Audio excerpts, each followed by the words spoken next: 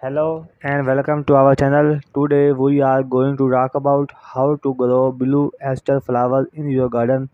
Blue asters are one of the most beautiful and flower that you can grow in your garden. They come in different shades of blue, making them a perfect addition to any garden. The first step in growing blue aster is to choose the right location. blue asters prefer full sun to partial shade and well-drained soil. Choose a spot in your garden that receives at least 6 hours of sunlight per day. Willow asters thrive in soil that is rich in organic matter.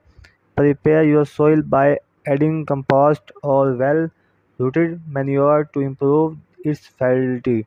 Ensure that the soil is well as blue aster don't like soggy soil. Once you have chosen the right location and prepare the soil, it's time to plant the blue asters. Plant them in spring or fall depending on your climate.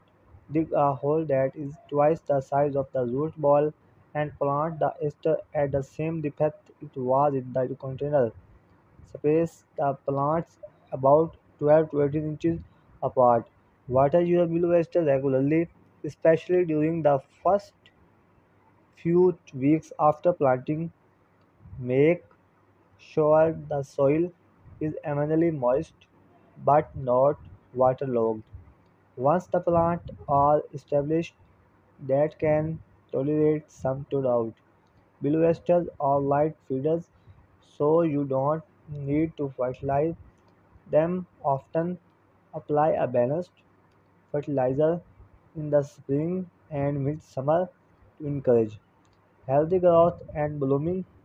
To encourage bushy growth and more blooms, pinch back the tips of the willow aster stems in early summer that had the spent blooms to promote new growth and extend the blooming season.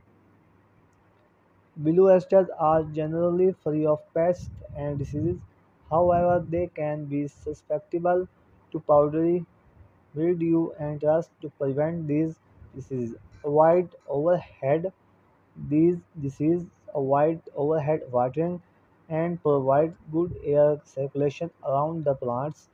Growing willow aster in your garden is easy and rewarding with the right location, soil preparation, plants, and care. You can enjoy the beauty of these lovely flowers throughout the growing season. We hope you found this video helpful. Don't forget to like and subscribe to our channel for more gardening tips and tricks.